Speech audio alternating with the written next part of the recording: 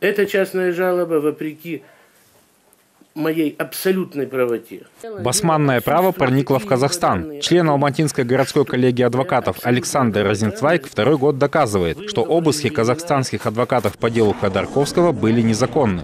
Сотрудники Следственного комитета России в сентябре 2012 и в апреле 2013 года провели обыски у его подзащитного Игоря Новикова, известного казахстанского юриста, и у его жены. Все это было сделано на основании постановления Басманного районного суда города Москвы. Ну, совершенно понятно и очевидно, что юрисдикция этого суда может распространяться только на территорию Российской Федерации.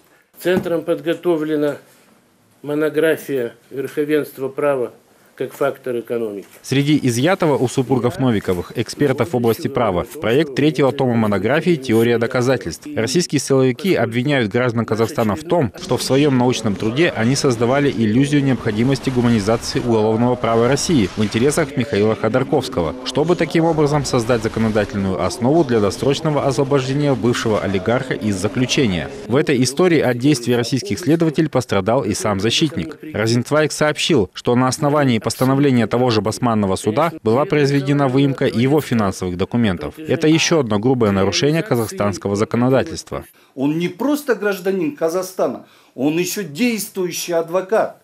А у нас в законе об адвокатуре записано, статья 17, что дело, адвокатское дело производства и все касающиеся с ним документы и материалы изъятию, выемке и обыску не подлежат. Сегодня городской суд Алматы отклонил очередную жалобу защитника Новиковых. Александр Зинцвайк говорит, что теперь в поисках правды ему остается обращаться только в Организацию Объединенных Наций.